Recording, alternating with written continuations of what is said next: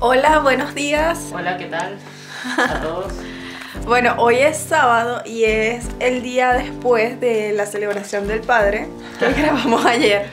Pero hoy quisimos hacer un vlog porque vamos a pasar el día en la casa ya que hoy no tenemos instituto porque terminó el periodo de clases. Entonces como que dieron una semana de vacaciones. O sea, este sábado lo tenemos libre. Y ya obviamente la, la siguiente semana vamos a seguir yendo. Pero bueno, sí, estamos aquí bien contentos porque estamos tranquilos descansando. Sí. Nos levantamos, bueno, yo un poquito más tarde y Alfredo se levantó un poquito más temprano, pero sí nos levantamos relativamente tarde.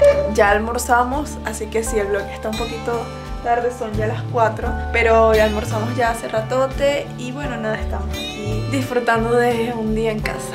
Bueno, sí, como les dijo Bárbara, hemos estado aquí en casa, tranquilos, estaba comiendo unas galletas que son de quinoa y esos productos, yo pensé que iban a saber un poquito extrañas, pero no, realmente no, están bien, y como a mí me gusta comer galletas bastante, contento por eso. Y nada, estaba viendo unos videos en YouTube de cosas que me gustan, que sí, de tutoriales y eso. Ah, por cierto, sí monté hace unos días ya atrás un top de 7 cosas que te hacen más feliz y estoy buscando. publicidad, publicidad. Pero estoy buscando, no sé, otros temas que montar. Y bueno, estoy en eso pensando. Esta es la caja de galletas que nos mandaron que les comentó Alfredo para mostrarles rapidito. como una empresa de productos naturales. Por ejemplo, este es un mix de frutas. Nos mandaron varios es como un mix de frutas con granola y es bien rico. A mí me encanta demasiado el maní, las frutas disecadas como la manzana y esto que a nosotros le llamamos albaricoque. Entonces nos mandaron varias de esas que me gustaron bastante. Nos mandaron estas barras de cashew o algo así. Nosotros le llamamos a esto merey, pero son como unas barras de cereales. De estas nos mandaron dos para probarlas, pero no las hemos probado todavía. Las galletas son de quinoa. Estas que son de kiwicha, estas de ajonjolí, de chía. Bueno, todas son hechas aquí en Perú, dicen Perú y atrás dicen producto peruano. Nos parecieron súper ricas. Les vamos a dejar en la cajita de descripción un correo por si se quieren poner en contacto con ellos y hacerles un pedido porque de verdad son bastante buenas. Y esta es otra que nos mandaron porque ellos como que recolectaron como toda la cantidad de productos más saludables que tienen de los que están vendiendo y nos mandaron varios para que los pudiésemos probar. Una de las cosas que me sorprendieron fueron estas galletas de quinoa porque son así achocolatadas. Dicen galletas integrales. Están estas que son de nueces y me parecen súper ricas porque son así achocolatadas con sus nueces. Y me parece que son unas galletas así como muchísimo más sanas de las que puedes conseguir cuando vas y compras, no sé, unas morochas o X galletas. Nos mandaron esta granola. Esta ya es como una versión más grandecita de la que les acabo de mostrar ahorita. Y me recomendaron demasiado, demasiado estas plantillitas. Y son con miel. Nos mandaron estas con miel. Estas de naranja y zanahoria. Nos mandaron maní. Palitos de ajonjolí. Palitos también, pero son como de chocolate con quinoa. Más galletas de esas.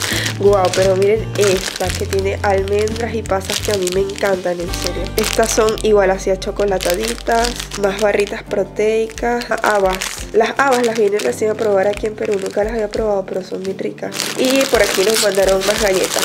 Oigan, pero en serio, tienen que probar estas galletas de quinoa, porque por lo general pensarán que tiene el sabor así a la quinoa, no sé, que son saladas o qué sé yo, pero esto es increíble, son súper dulces, ricas, demasiado buenas, demasiado buenas y obviamente lo bueno es que son de quinoa, son mucho más nutritivas que una galleta normal, son claro mucho más saludables. Yo les recomiendo demasiado esta de quinoa, las de ajonjolí, todas, en serio, todas las que nos mandaron son súper buenas. Oigan, en serio se ve demasiado bueno todo esto, así que les vamos a dejar un correo eh, por si quieren solicitar alguno de estos productos o hacer algún encargo respecto a las galletas. Tienen que probarlas, en serio no las juzguen porque sean de ajonjolí, de chía o de quinoa, tienen que probarlas. Y son hechas aquí en Perú, en serio son súper, súper buenas, yo las probé y me encantaron demasiado. A mí, bueno, que me encantan las galletas que no tengan nada de Que sean full plomo. que tengan full chocolate como, como todas las que venden.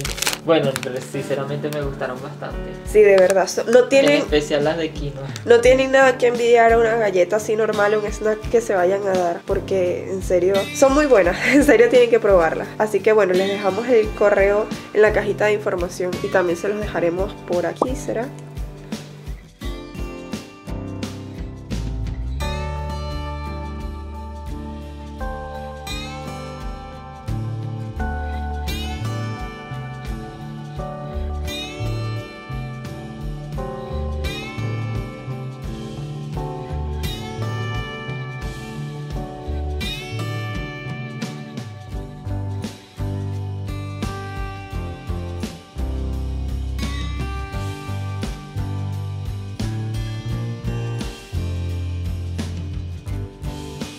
Continuando con nuestro día, ahorita vamos a hacer las famosas arepas que creo que las han querido ver. Es una receta demasiado difícil que probablemente no van a poder hacer. No, mentira. Van a ver en realidad lo fácil que es hacer arepas. Tanto que lo piden, pero en realidad es demasiado sencillo. No necesita Sí. explicación. Sí, de hecho como que no necesito un video así tan, tan elaborado diciendo cómo hacer arepas, sino que simplemente así como un blog, que ustedes vean cómo las hacemos, creo que van a, captar bastante cómo se hacen y creo que ya van a tener la capacidad de hacerlas también. Si quieren comprar la masa, nosotros las hemos visto nada más en Plaza Vea, pero hay unos mercados donde también se consiguen en el mercado de Surquillo y otros mercados. Y bueno, ok, ahí está Bárbara con, la, con el empaque. Este es el empaque, es harina pan. Esto está totalmente en inglés porque esta la traen desde Colombia, pero por cierto, vimos una ayer que la traen ya, la empezaron a traer de Estados Unidos. Bueno, nada, este es el empaque de la harina pan. Nosotros para dos arepas eh, de tamaño bien, ¿verdad? O sea, de tamaño grandecito, Sí, usamos sí. una taza de harina.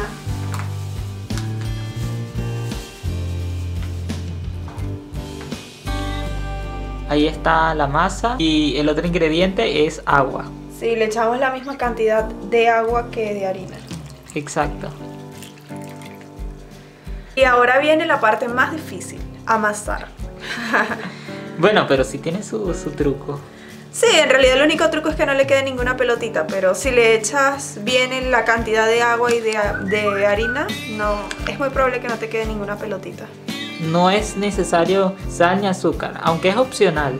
Depende de si quieren darle un toquecito. Sí, pero, Pero si nosotros la- las comemos las asadas sin sal.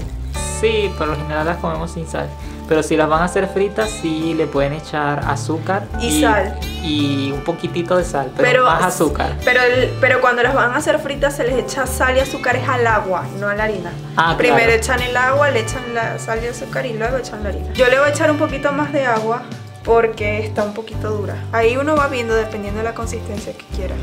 Bueno, este es el sartén que vamos a utilizar. Y bueno, ya viene la parte más importante que es hacer la arepa y es una bolita. Pero lo que sí es que por lo general como la gente no tiene mucha práctica no le salen redondas, sino que a veces le salen cuadradas o le dan otra forma. Pero básicamente lo único que tienen que hacer es hacer una pelota y luego van a ir aplastando, aplastando, aplastando. Yo le debo esto a mi papá, así que papá, si estás viendo esto, gracias por haberme enseñado a hacer arepas redondas.